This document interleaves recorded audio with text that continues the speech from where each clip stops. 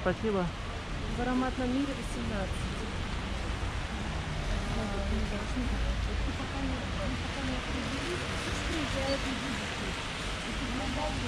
Сильга, вот тут все, как можно, там, да, это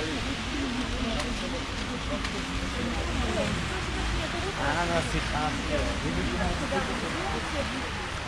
Типа, я на складрон.